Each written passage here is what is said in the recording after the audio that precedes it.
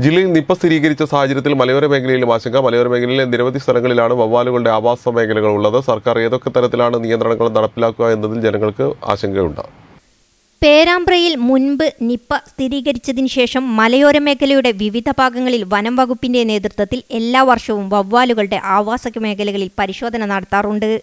മാസങ്ങൾക്ക് മുൻപും മുൻകരുതൽ നടപടികളുടെ ഭാഗമായി വിദഗ്ധ സംഘം ജില്ലയിലെ വിവിധ സ്ഥലങ്ങളിൽ പരിശോധന നടത്തിയിരുന്നു.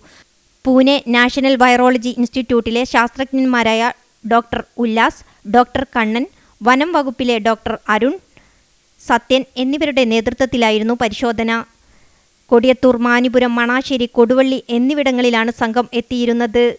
ഈ പ്രദേശങ്ങളിൽ വവ്വാലുകളുടെ എണ്ണം എത്രത്തോളം വർദ്ധിച്ചു ആവാസ വ്യവസ്ഥയിൽ വന്ന മാറ്റം തുടങ്ങിയവയാണ് പ്രധാനമായും അന്ന് പരിശോധിച്ചത്. ചാത്തമംഗലം പഞ്ചായത്തിലെ പായൂരിനടുത്ത് രണ്ടായിരത്തി ഇരുപത്തൊന്ന് സെപ്റ്റംബർ അഞ്ചിന് പുലർച്ചെ നിപ്പ ബാധിച്ച് പതിമൂന്നുകാരൻ മരിച്ചിരുന്നു. നിപ്പ സ്ഥിരീകരിച്ചതോടെ പഴവിപണിയിൽ അതിന്റെ പ്രതിഫലനം കണ്ടു തുടങ്ങി പഴങ്ങൾ വാങ്ങാനെത്തുന്നവരുടെ എണ്ണം കുറയുന്നതായി വ്യാപാരികൾ ചൂണ്ടിക്കാണിക്കുന്നു. വരും ദിവസങ്ങളിൽ പ്രതിസന്ധി രൂക്ഷമാകുമെന്ന് വ്യാപാരികൾ ചൂണ്ടിക്കാണിക്കുന്നു.